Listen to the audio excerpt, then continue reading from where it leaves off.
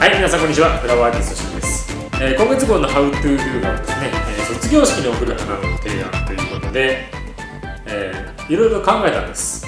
えー、花束にして、まあ先月、先々月花束だったんで、花束の三重視いや違う。3人いないからね。まあいいや。花束3、まあいいや。えー、まあ花束にしようかと思ったんですけどちょっとね提案ということなんで今回はディスプレイ的なものを作っていこうと思います。えー、そして何にしようかと思って見てたらこのねたまたまこの筆甲竹っていうねこういう面白い竹を見つけました、えー、ただの竹だと面白くないんですけどちょっとこういうねこれ結構面白いですよほら。これを使って、まあ、ディスプレイという、まあ、アレンジですね。アレンジを制作していきたいと思います。えー、ではね早速この竹の加工に入っていきたいと思います。どうぞ。で竹の加工はこうおなじみにここのところにやっぱりこう穴を開けて、えー、花を刺すねスペースを作っていきたいと思います、えー、ただ、まあ、今回どこにこう穴を開けるかっていうのがポイントになってくるんでまず器に合わせて、えこの穴を開ける場所を決めていきます。はい。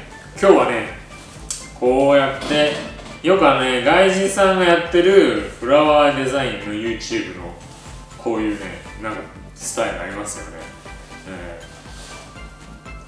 ー、これが器ですみたいな これが竹ですみたいなってやつのスタイルでやってみたいと思います、えー、まあ、あんまりねこう好きじゃないんですけどまあいいでしょう。で、えまずこの器をあ今回生ける器はこちらですね。でこの器にこう竹を合わせますね。である程度もう長さはね切りました切るって。さすがにそこからだと間に合わないんで。でこう合わせていってまあ大体どの辺にこう穴を開けるかっていうのを決めるんですよ。今回だとまあこの辺とこの辺と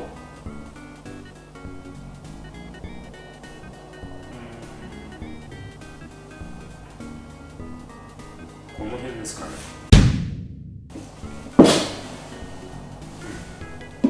この辺ですかね。ちょっとこの辺りに穴を開けてみます。はい、えー、ではもういきなりちょっとアングル変わっちゃいましたけど見やすいようにしました。この穴を開けるところ決まりましたんで竹に穴を開けていきたいと思います、えー、竹に穴を開ける容量はいつもと一緒です。よし、まあ、今回ここにね穴を開けていきましょう、えー、そしたらまずここにね切り込みを入れます。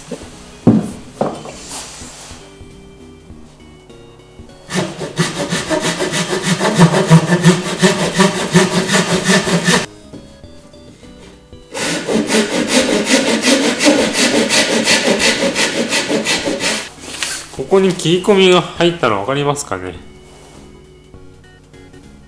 でこの先のね切り込みを入れたここの切り端ですね。こことここ2箇所入れたんですけどの位置を合わせるのがポイントですね。ここ合わせます。でここの切り込みのまあ前にもやったんですけど同じなんですけどここの端ですね。端のここにマイナスドライバーを当ててトンカチでこのマイナスドライバーを叩きます。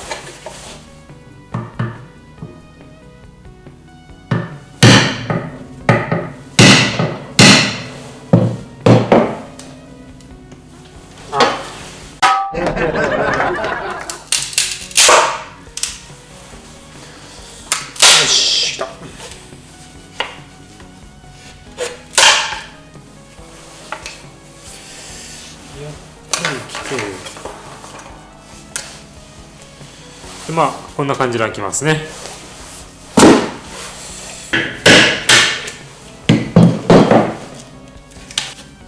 ではこれと同じように次々開けていきましょう。